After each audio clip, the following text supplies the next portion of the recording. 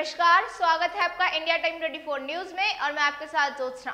दुनिया में भारत एक आस्था का केंद्र है। यहाँ पर कई चमत्कारी और रहस्यमय मंदिर है। इनमें ऐसे कई मंदिर है जिनके रहस्य को आज तक वैज्ञानिक भी नहीं सुलझा पाए हैं। ऐसा एक भगवान श्री कृष्ण का मंदिर है, जो दक्षिणी भारत राज्य केरल के थिरुवर में स्थित है। माना जाता है कि प्रसिद्ध मंदिर करीब 1500 साल पुराना है। आइए जानते हैं इस मंदिर के रहस्य के बारे में। इस मंदिर में भगवान श्री कृष्ण के कई किवंदतियाँ जुड़ी हुई है। बताया जाता है कि वनवास के दौरान पांडव भगवान कृष्ण की मूर्ति की पूजा करते थे और उन्हें भोग लगाते थे। पांडवों ने वनवास समाप्त होने के बाद तिरुवव में इस भगवान श्री कृष्ण की मूर्ति को छोड़कर चले गए थे, क्योंकि यहाँ के मछुआरों ने मूर्ति को यहीं छोड़ने का अनुरोध किया था। मछुआरों ने भगवान श्री कृष्ण की ग्राम देवता के रूप में पूजा करनी शुरू कर दी। हालाँकि मछुआरे एक बार संकट से गिर गए तो एक ज्योतिष ने उन्हें कहा कि आप सभी पूजा ठीक से नहीं कर पा रहे हैं। इसके बाद उन्होंने भगवान कृष्ण की मूर्ति को एक समुद्री झील में विसर्जित कर दिया। केरल के एक ऋषि नाव से एक बार यात्रा कर रहे थे, लेकिन उनकी नाव एक जगह पर अटक गई। लाख कोशिशों के बाद भी वे नाव आगे नहीं बढ़ पाई तो उनके मन में सवाल उठा कि ऐसा क्यों हो रहा है? उनकी नाव आगे क्यों नहीं बढ़ रही है? इसके बाद उन्होंने पानी में नीचे डुबकी लगाकर देखा तो वहाँ एक मूर्ति पड़ी हुई थी। ऋषि ने मूर्ति को पानी से निकाली और अपने नाव में रख दी। इसके बाद वह एक वृक्ष के नीचे आराम करने के लिए रुके और मूर्ति को वहीं रख दी। अब वह जाने लगे तो मूर्ति को उठाने की कोशिश की, लेकिन वह वहीं चिपक गई। इसके बाद भी मूर्ति स्थापित कर दी गई। इस मूर्ति से भगवान कृष्ण का भाव उस समय का है जब उन्होंने कंस को मारा था। जब उन्होंने बहुत भूख लगी थी। इस मान्यता की वजह से उन्हें हमेशा भोग लगाया जाता है।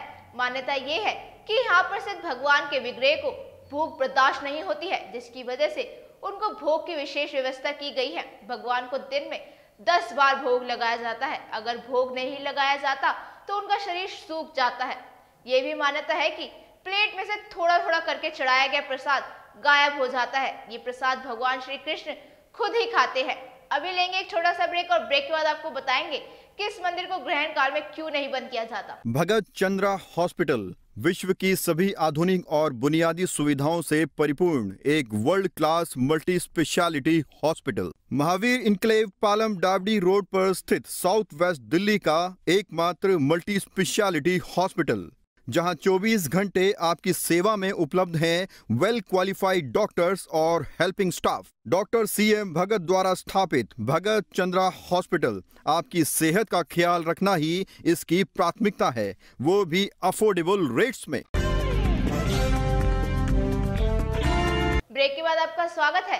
पहले इस मंदिर को आम मंदिरों की तरह ग्रहण काल में बंद कर दिया जाता था, लेकिन एक बार जो हुआ उसे देखकर सभी लोग हैरान रह गए। ग्रहण खत्म होते होते उनकी मूर्ति सूख जाती है। कमर की पट्टी भी खिसक कर नीचे चली जाती है। इस बात की जानकारी आदि शंकराचार्य को हुई तो वह खुद स्थिति को देखने और समझने के लिए वहाँ पहुँचे। सच्चाई जानकर वह भी आश्चर्यचकित हो गए। इसके बाद उन्होंने कहा कि ग्रहण काल में भी मंदिर खुला रहना चाहिए और भगवान को समय पर भोग लगाया जाए। आदि शंकराचार्य के आदेश के मुताबिक ये मंदिर 24 घंटे में सिर्फ़ दो मिनट के लिए बंद रहता है। मंदिर को ग्यारह बजकर अट्ठावन मिनट पर बंद कर दिया जाता है और उसे दो मिनट बाद ही ठीक 12 बजे खोल दिया जाता है। मंदिर के पुजारी को ताले की चाबी के साथ ही कुल्हाड़ी भी दी गई है। पुजारी से कहा गया है कि अगर ताला खुलने में समय लगे तो वे कुल्हाड़ी से ताला तोड़ दे, लेकिन भगवान को भोग लगने में देरी ना हो। इसके अलावा भगवान का जब अभिषेक किया जाता है तो विग्रह का पहला सिर और फिर पूरा शरीर सूख जाता है,